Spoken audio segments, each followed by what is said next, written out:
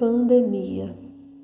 Política, filmes, séries, BBB, insônia, caminhar, clube do livro, horta, grupo de estudo, supervisão, música, muita música.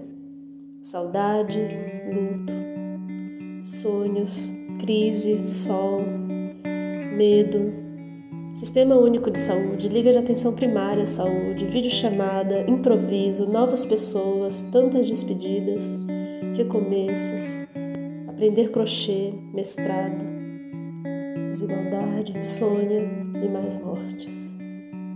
Terapia, jogos de tabuleiro, incerteza, criar. Entre isto e aquilo, ou melhor, juntamente os atendimentos clínicos, a acolhida de ciclos que se encerram e novos chegando, no rasgar-se e remendar-se, nesse mar incerto da vida, ela é criada, inventada.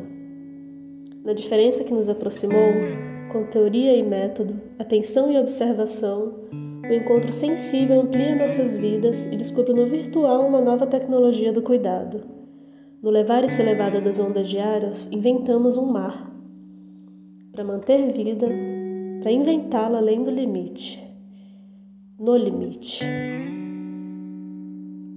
Olhando as situações limite, romper com os até então existentes e os novos que insistem em diminuir a vida.